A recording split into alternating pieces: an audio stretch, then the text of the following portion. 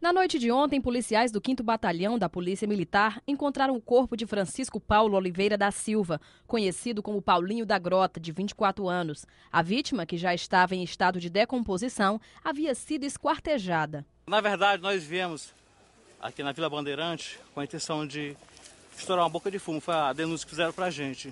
E ao perseguir os elementos que, ao avistar a viatura, tentaram se evadir, nós nos deparamos com esse corpo que já se encontra em estado de decomposição.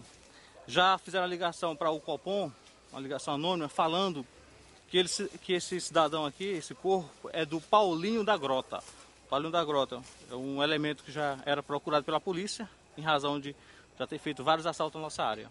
O corpo foi encontrado quando os policiais faziam uma operação na Vila Bandeirantes 3, na tentativa de prender traficantes ao encontrar a vítima dentro de um saco plástico depositado em um buraco no terreno baldio de difícil acesso.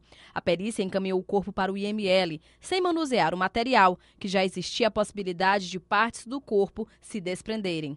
A informação que chegou até, até a gente dava conta de que esse corpo seria queimado. Eles iriam atirar fogo no corpo. Você pode observar que tem pneus, o corpo encontra envolvido em saco plástico, justamente para facilitar a queima do fogo, do fogo. De acordo com informações de vizinhos, o assassinato teria ocorrido na noite desta segunda-feira, dia 27, e a vítima é conhecida como Paulinho da Grota, que já teria passagens por assaltos e seria acusado de seis homicídios.